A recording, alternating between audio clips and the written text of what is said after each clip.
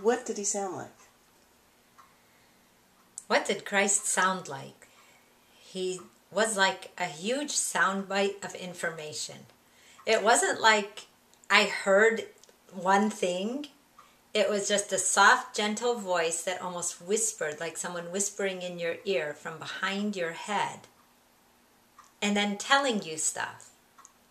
And you just know it. It's like he's telling it, and I'm taking it in through osmosis almost. And so he sounds gentle and soft, yet very firm.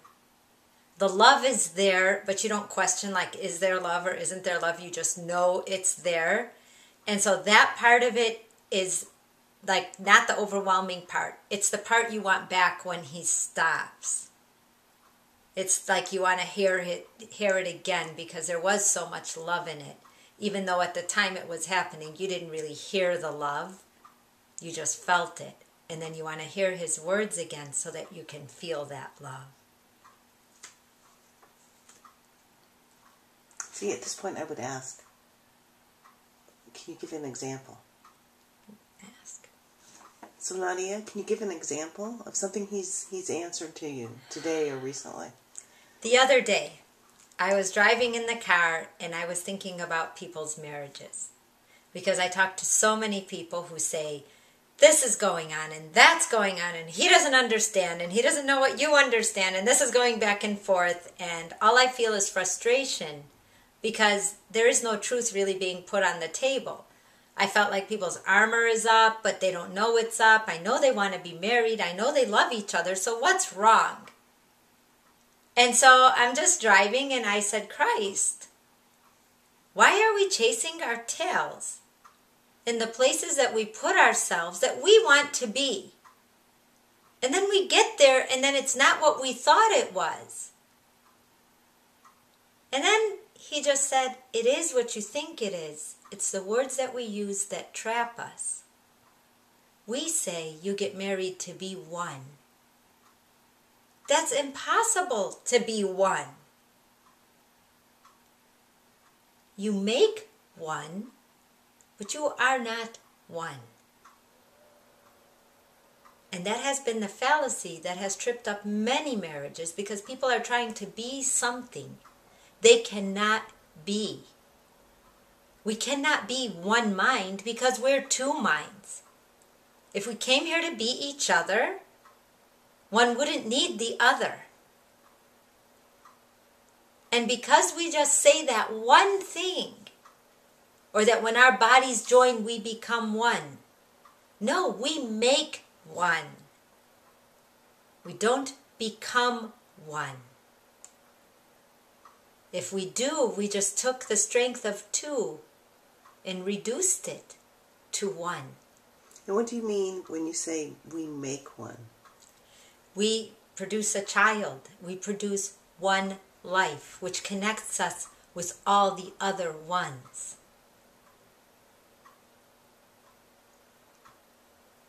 And how does it feel when you receive his answer? The feeling that I get is like, oh my gosh, that makes sense. What we've been saying and what we've been doing or trying to do doesn't make sense.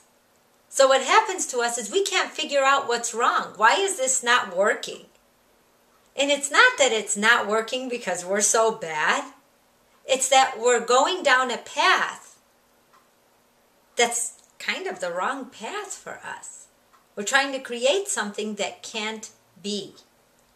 Every soul comes to earth to experience. We choose what we came here to do. The people that are around us chose us as well to work out what they came here to work out.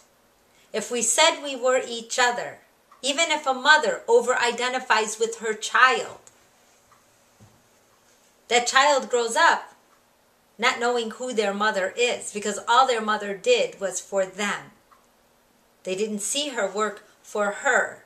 So what happens to them is they grow up and they're not so sure how to work for them. Because their role model was them grown up, basically. And so we miss that. So when I hear him speak and it does make sense, immediately I rest inside knowing that answer because that answer is true. See, we don't realize how much we took and the realities we created for ourselves with the boundaries that we created. I hear so many people talk about metaphysical and light and um, spiritual and all that just to think of love.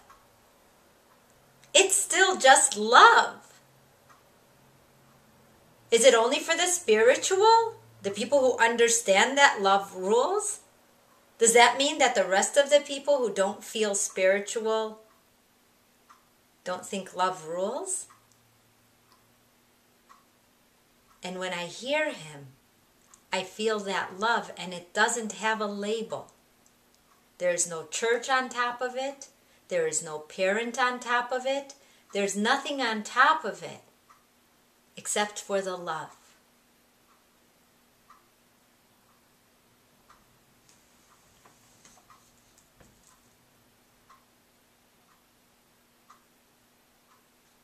Well, my next question, Nadia, was going to be how do you know it's him? But you've kind of just explained that. Yes. I always know it's him because it's something I would have never thought about. Not being raised in the world we are raised in, not seeing the same stimulus we all see. That's the beauty of this, is that he's showing me how limited we limited ourselves.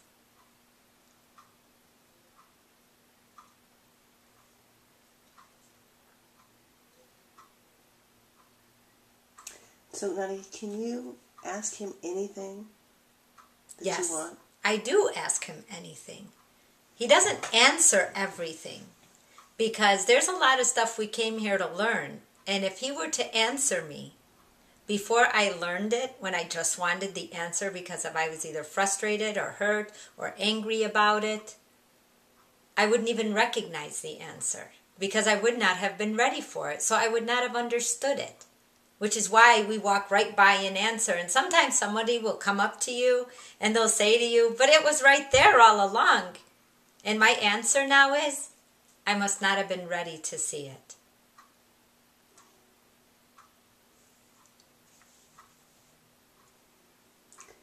And what does it feel like to have him answer you?